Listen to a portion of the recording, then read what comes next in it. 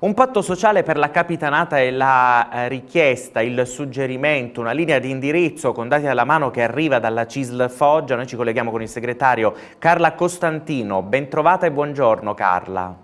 Buongiorno a voi, grazie per l'invito. Abbiamo letto un po' questo manifesto, questa nota, questa indicazione importante con dati alla mano che avete eh, sollevato, sottolineato proprio nelle scorse ore. Partirei proprio dai dati della disoccupazione che a Foggia sono significativi. Sì, assolutamente sì, anche perché proprio ieri nel consegnarci io vi chiedo scusa per la voce afona. Eh, non ti preoccupare. Nel consegnarci, nel consegnarci, i dati della presentazione del rendiconto sociale dell'Inps non hanno fatto altro che confermare le nostre eh, gravi preoccupazioni. Penso per esempio all'alto tasso di disoccupazione giovanile e femminile che si attesta a percentuali molto più alte di quella che è la media sia nazionale ma anche regionale. E soprattutto il, il, il tasso di inattività che è pari all'intorno al 45%, credo che questo dato ci debba molto far riflettere, nel senso che a mio avviso denota anche una forma di rassegnazione da parte del nos della nostra comunità, cosa che noi assolutamente dobbiamo contrastare e dobbiamo creare strumenti per dare invece risposte al nostro territorio. Siamo convinti che un patto sociale per la capitanata, ovviamente incentrato sul lavoro, possa essere una soluzione ai tanti problemi che abbiamo. Noi siamo assolutamente consapevoli che sono i tempi giusti, anche perché considerate le enormi risorse che stanno arrivando sul territorio, dobbiamo anche avere la capacità di utilizzarle al meglio e dettandole ovviamente eh, con le priorità che abbiamo sulla, sulla, nostra terra. Noi per esempio pensiamo ehm, alla, a questo patto sociale attraverso la governance condivisa sulle risorse del Piano Nazionale di Ripresa e Resilienza, perché siamo fortemente convinti che devono andare nella giusta direzione, così come insieme alla nostra struttura nazionale e regionale chiediamo a viva voce dei correttivi alla manovra finanziaria, però declinato anche sul nostro territorio. Penso per esempio alla forte necessità di nuove assunzioni nella sanità. Eh, a proposito, la situazione in ambito sanitario è uno dei temi, dei temi ovviamente a livello nazionale. Quali ripercussioni, quali punti di criticità sul territorio di Foggia?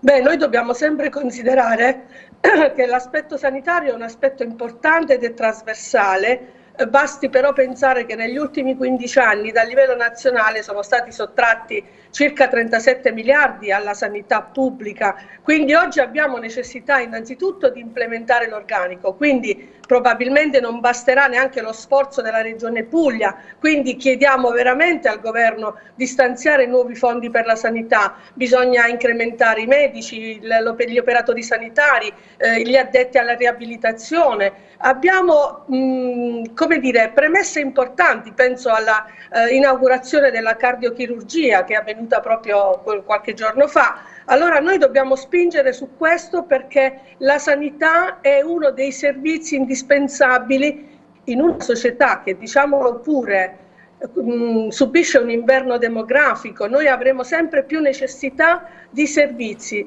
ovviamente non solo sanitari. Ecco, una, un obiettivo importante sarebbe quello di poter assicurare proprio una società che dia servizi alle comunità. E allora noi spingeremo su questo per le nuove assunzioni, così come penso al tema delle infrastrutture, importanti sempre per quel tema che abbiamo toccato più volte anche con voi sul tema dello sviluppo del turismo, che nel nostro territorio è uno degli aspetti insieme all'agroalimentare fondamentale, ma non solo infrastrutture viarie, eh, penso alle, alle, strade al scorrimento veloce per il Gargano, penso al subappennino Dauno, eh, bene l'avvio dei lavori sulla statale 16 Foggia San Severo, ma abbiamo senza dimenticare altro tipo di infrastrutture, penso a quelle idriche. Non dobbiamo, io ho lanciato un appello qualche mese fa, cerchiamo di progettare per tempo le soluzioni a un'emergenza idrica che tocca il nostro comparto, non solo agricolo, ma di tutto anche l'indotto agroalimentare e quello industriale. Allora tante sono le nostre priorità noi veramente insieme al nostro gruppo dirigente ci siamo impegnati eh, affinché anche attraverso le assemblee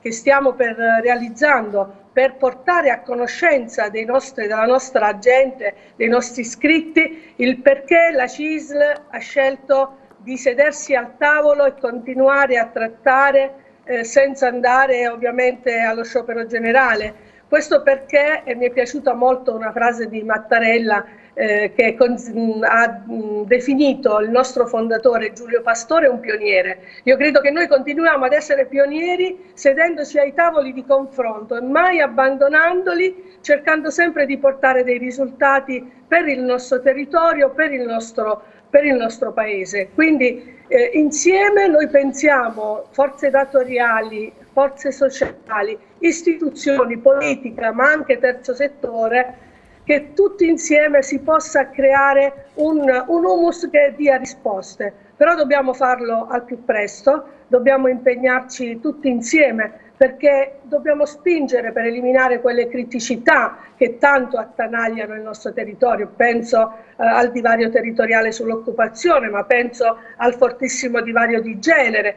penso, come dicevo prima, all'altissima inattività. Dobbiamo assolutamente cercare di dare delle, delle, risposte. Sul tema del PNRR siamo fortemente preoccupati, ne abbiamo già parlato eh, più volte, sulle risorse destinate al superamento dei ghetti.